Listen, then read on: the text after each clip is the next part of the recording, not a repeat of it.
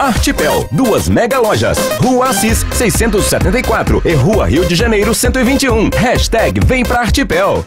Há algum tempo atrás, plantonistas, nós uh, mostramos uh, aqui no plantão uma iniciativa muito bacana, lá do Seis São Sebastião Martins, no Dom Bosco. Lembra da fazendinha que foi implantada?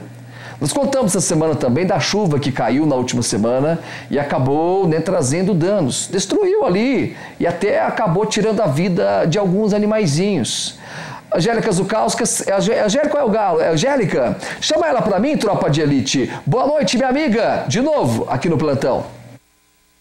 Paulo Marcelo, eu vim aqui na fazendinha do SEI Professor Sebastião Martins, que fica no bairro Dom Bosco. E hoje a situação por aqui já está normalizada. Mas no começo da semana foi bem difícil que os colaboradores e as crianças encontraram por aqui. Por quê? No último domingo deu uma forte chuva aqui em Poços de Caldas, alagando aqui todo o espaço e com isso alguns animais morreram. Eles perderam um porquinho da Índia, também algumas carpas, aliás, todas as carpas que estavam aí no laguinho. Perderam também galinhas, tinha uma porquinha que estava grávida e foi muito triste para as crianças que frequentam aqui o espaço e diariamente têm esse contato maravilhoso com os animais. Eu tô aqui com a coordenadora que vai falar pra gente sobre essa situação lamentável, né? Foi, foi muito triste, né, a gente encontrar uma situação dessa. Porque nós tivemos uma parceria muito boa, fizemos um projeto muito bom e esse projeto ajuda muito as crianças em sala de aula. É, a gente passeia por todas as áreas da educação com a fazendinha. Então é de suma importância para as crianças e para o nosso trabalho, principalmente, né? É o respeito aos animais, ao meio ambiente e, em consequência, o respeito ao ser humano. Só para as pessoas de casa entenderem, o que precisa ser feito aqui é um projeto de escoamento correto para que a água, quando tem essas fortes chuvas, possa ter um escoamento adequado e evitar esse tipo de situação. Exato, e isso já vai ser feito na próxima segunda-feira.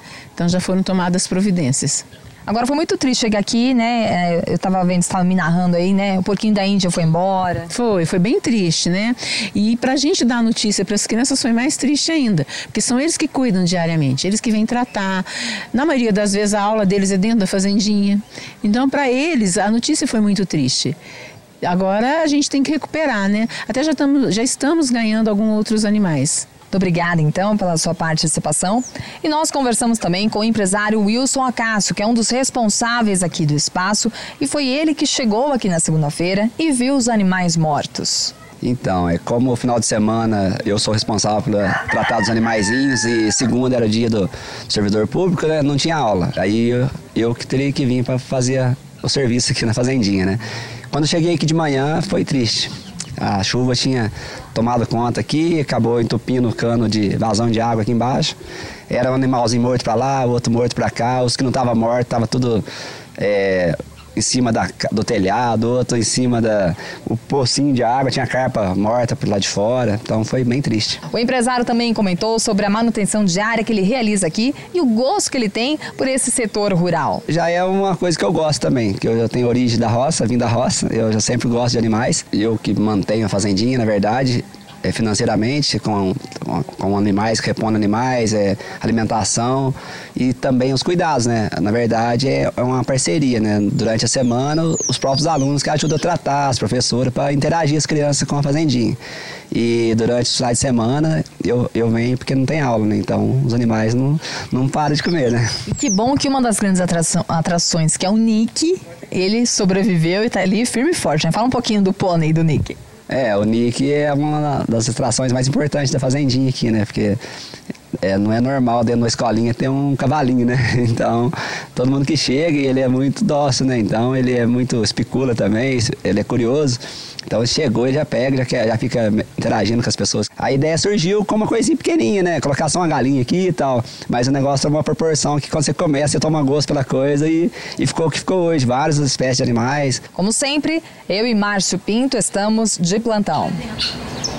Olha só, Angélica, que passou por muitos desafios hoje, né? Gravou no meio dos cavalinhos, né, Juliana? O que que aconteceu? O pônei mordeu Angélica Zukauskas? Nós temos imagens dessa mordida, Juliano? Ah, nós queremos. Amanhã vamos mostrar isso amanhã? Vamos mostrar isso aqui no plantão amanhã? Vamos mostrar isso aqui. Que é o pônei mordeu, mordeu a roupa da Angélica. Eu vi o vídeo ali. Mordeu ela, o pônei fez croque-croque. Olha só que safadinho, hein? Hoje foi um dia de muitos sustos para Angélica.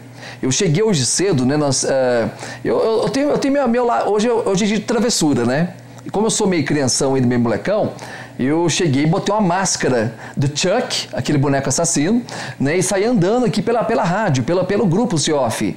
Então fui entrando de, de sala em sala, fui no departamento comercial, departamento financeiro, RH, e fui só dando susto nas minhas amigas. Vocês têm que ver que coisa mais. As meninas quase morreram, gente. O povo, o povo tá muito assustado, né, Juliana? E a Angélica foi uma delas, que eu dei um susto né, na sala lá, ela começou assim: Meu Deus do céu, meu Deus, quase cacau de costa, agora o cavalo vai vai lá dar uma bocada na Angélica. Hoje não foi um dia bom pra Angélica. Beijo, minha amiga, tudo de bom pra você. O Juliano tá bem? A Angélica tá tudo bem com ela? Tá tudo jóia com ela? Então tá bom. A nossa equipe, falando desse caso, a nossa equipe entrou em contato com o secretário de obras, o Luiz Fernando Cortesano. Ele nos informou que a Fazendinha foi uma iniciativa da coordenadora do SEI e que não há vínculo com obras estruturais.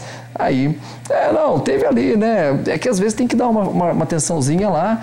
O pessoal agora está focado aí nas torres, né? O pessoal tá, é, a da torre, né? Vamos lá.